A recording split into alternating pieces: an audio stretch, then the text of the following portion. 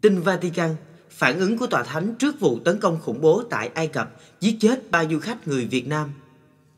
Một quả bom bên vệ đường đã phát nổ vào lúc 18 giờ 15 ngày 28 tháng 12 theo giờ địa phương khi chiếc xe chở 15 khách du lịch Việt Nam và ba người Ai Cập đi qua quận El Haram, cách quần thể kim tự tháp Giza chưa đến 4 km.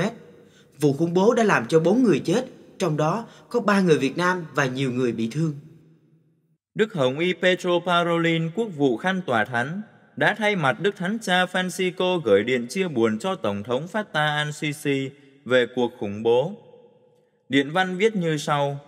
Thưa ngài Abdel Fattah al-Sisi, Tổng thống Cộng hòa Ả Rập Ai Cập, Đức Giáo hoàng Francisco đã vô cùng đau buồn khi biết tin về vụ tấn công bằng bom hôm qua ở gần Giza. Đức Thánh Cha lên án hành động hoạt động vô nghĩa và tàn bạo này và cầu nguyện cho các nạn nhân và gia đình của họ, cho những người bị thương và cho nhân viên cứu cấp đã quảng đại chạy đến giúp đỡ họ, trong niềm tín thác rằng tất cả mọi người sẽ hoạt động để vượt qua bạo lực bằng tình liên đới và hòa bình. Đức Giáo hoàng Francisco khẩn xin các phước lành của Thiên Chúa trên đất nước và nhân dân Ai Cập. Hiệp thông với Đức Thánh Cha, chúng ta hãy cùng cầu nguyện cho các nạn nhân của cuộc khủng bố này.